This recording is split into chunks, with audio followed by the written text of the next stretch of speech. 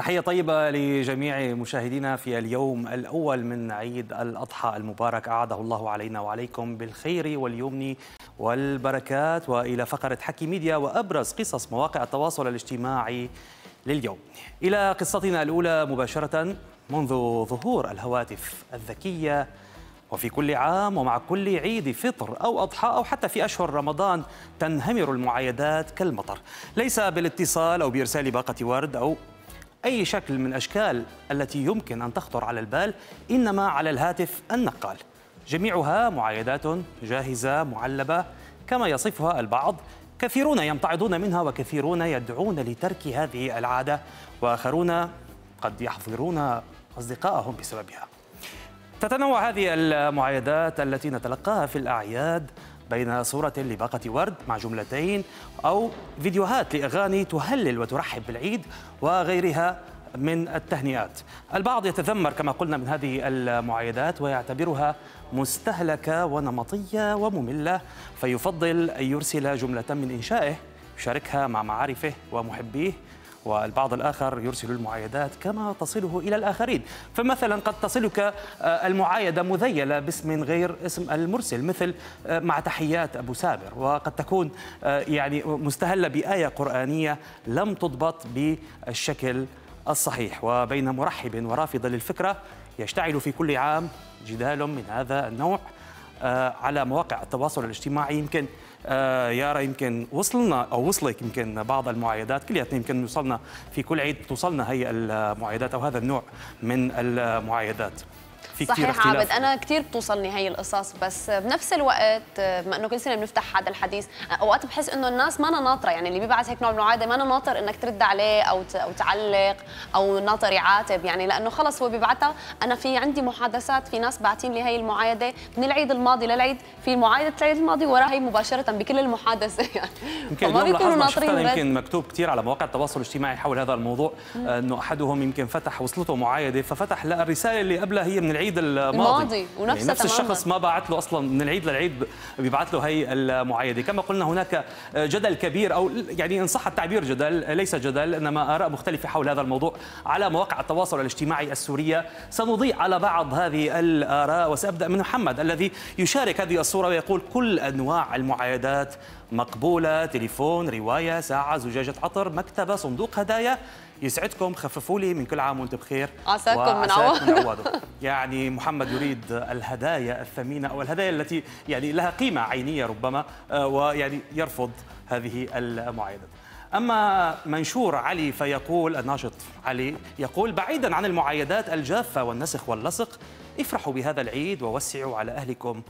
وادخلوا أو أدخلوا عليهم الفرح والسرور وإياكم وشعار المفلسين الذين يقولون عيد بأي حال جئت يا عيد أو عدت يا عيد البيت الشهير بيت المتنبي الشهير الذي يتكرر في كل عيد. صحيح. عيد بأي حال عدت. بس كأنه هالعيد مضبوط الوضع أكثر عابد. ما شفتها كثير أنا هالعيد. كأنه خلص يعني, يعني ملت العالم. صارت قد ما كانت قد ما صارت مستهلكة يعني في كل عيد. صارت صحيح. الناس تتجنبها ارتسم كوميكس عليها. هي صحيح. العبارة أو هذا البيت البيت الشهير طبعا. للمتدبي عناب يقول أو تقول في هذا المنشور ما بحب المعايدات الجماعية وما حأرد على أي رسالة إلا لو مكتوب فيها اسمي رباعي. الاسم الرباعي ولازم المواليد والنفوس. نعم مشان تكون تعرف إنه إلها إلها بالذات. أيضا آخر المنشورات يمكن معنا لأحمد يقول بالمناسبة دي يبدو أحمد من مصر يقول حابب أقول لأصدقائي اللي بينزعجوا من كثر المعايدات ورسائل المعايدات المعلبة والافوره في إرسال كل ما أنتجته السوشيال ميديا من صور أو صورة وتصميمات للتهنئة هي فعلا شيء مزعج مش هقدر أنكر بس مجرد الاهتمام بإرسالها في شيء من الحب. الحمد لله إنه عندنا ناس بيفتكرونا حتى لو في المناسبات من ضمن لسته طويلة إحنا مشتركين في دوائر ناس كتير ودرجات القرب مختلفة لكنها تظل درجات للقرب كل سنة وأنتم جميعا بخير أو جميعا بألف خير. يعني بلشنا نخلط بين المصري والفصحى وتلتزم تلتمسوا الأعذار لبعض وعارفين أنه الدنيا بسيطة ومش مستاهلة. طبعا بوست طويل لأحمد. آه رح نروح إلى منشور آخر أيضا أحمد آخر أحمد عويد هذه المرة يقول المعايدات الجاهزة نسخ لصق copy paste لا أعتبرها معايدة هذا رأي شخصي لأن وقت تجيك على تليفونك وتقوم محدد شي 50 بني آدم وسافا إرسال يعني أنا ممكن يكون واحد من بين هال 50 وأنت غالبا ما رح تكون منتبه إذا كنت من بين اللي حددتهم أو لا. يعني المختصر أربع كلمات كل عام وأنت بخير أحسن من جريدة مكتوب فوقها forwarded كل عام وأنتم بألف خير ينعاد عليكم بحال أفضل وظروف اقتصادية وصحية أحسن. والله يبعد عن الجميع الأمراض ووضع مجموعة منها في الهاشتاجات آه، المتعلقة بالعيد وبالمعايدات. أما الصورة الأبرز في التداول فكانت هذه الصورة. فيها أكثر الجمل السورية المعروفة والمتداولة في العيد وضعها رواد مواقع التواصل الاجتماعي السوريون وضعوها في هذه الصورة منها عبارة العيد الجاي بنكون سوا ومنها عبارة كل عام وأنت بخير يا بابا وأيضا يا عيون أمك وبتتذكر وقت جهزنا لك ثياب العيد ومجموعة يمكن من العبارات آه، اللي يمكن صارت أو هي موجودة بذاكرة السوريين ومحفورة بذاكرة السوريين جميعا هذه العبارات التي كانت تتكرر يعني لدى السوريين عندما آه، خاصة الشباب الذين كانوا آه، يافعين أو فتيان في وقت صحيح. من الأوقات ما تزال هذه العبارات هي الصورة عابد اليوم. حقيقة أنا كثير تأثرت فيها وذكرتني بكثير ناس اليوم هن بعاد عن أهاليهم وللأسف كل عيد بيقولوا إنه العيد الجاي ممكن نرجع نلتقى وللأسف بيجي العيد الجاي وهن بعاد عن أحبابهم وأهاليهم وأخواتهم. يعني فعلا كانت مؤثرة جدا بالنسبة لي. نعم يارا يعني أيضا من هذه المعايدات المهمة في الأعياد بالتأكيد المعايدات مهمة وهي الركيزة الأساسية فيها إلا أن الأكثر أهمية ربما والأكثر تعبيرا عن العيد لدينا خاصة نحن السوريون آه، في هذه آه، في مرحلة الطفولة هي العيدية، العيدية المادية طبعا وتحديدا التي تعتبر أول مشروع استثماري لدى الأطفال ويعني لدينا كان في وقت من الأوقات وغالبا ما تكون مشروع فاشل لأننا غالبا ما كنا نصرفه على أشياء فارغة أو هكذا كانت أمهاتنا تقول. لذلك كانت دائما الأمهات تطلب العيدية كي تحتفظ لنا بها عندها. أعطيني أخبي لك عيديتك من أبرز الجمل. كانت وما زالت الأمهات تقولها للأبناء في العيد. المزيد في التقرير.